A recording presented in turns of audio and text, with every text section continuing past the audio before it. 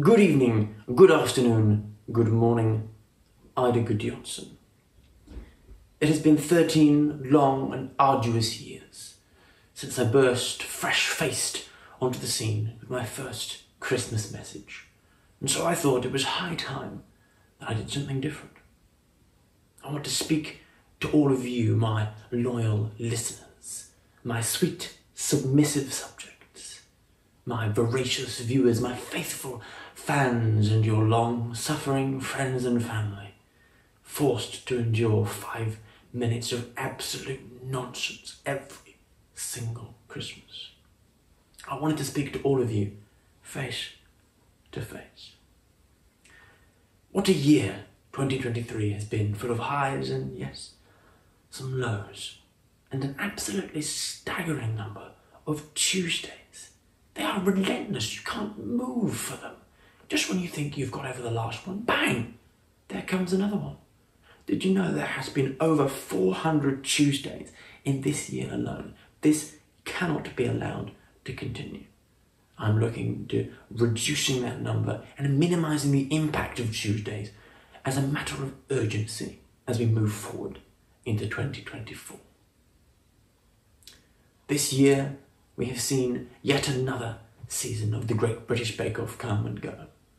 Cinema has staged an unprecedented comeback by glorifying rampant consumerism and the atomic bomb.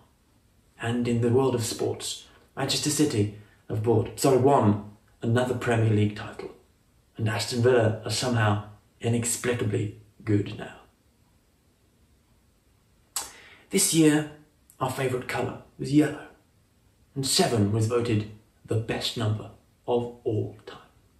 And who could forget in February when hordes of aggressive, fire breathing ravens descended upon our lands, ravaging our countryside, swearing at our children, and preying upon the elderly and the infirm?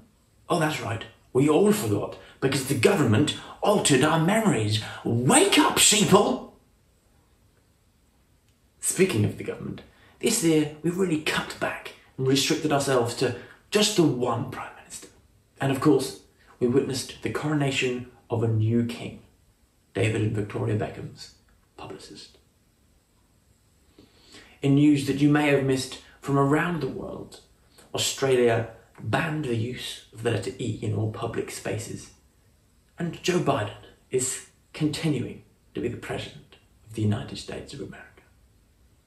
Now, if you're hoping me to, to bring these themes together to encourage us to come together one another as a community and work together for the betterment of our future, if you're wanting hope in the times, the difficult times that we find ourselves in, then I'm afraid you have not been paying attention in the past 13 years.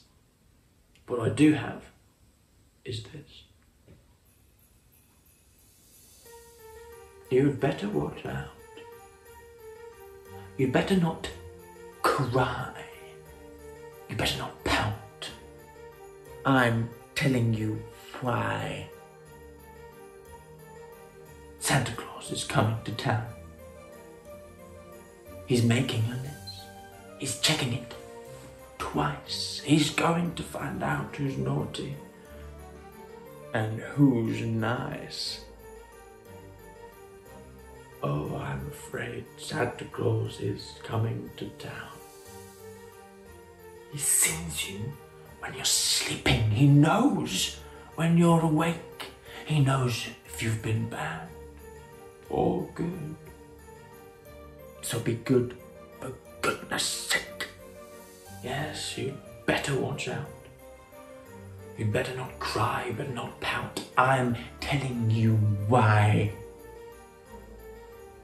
Santa Claus is coming to town. Ah, that's nice. I just want to wish you all a wonderful Christmas and a fabulous New Year. This is goodbye from me.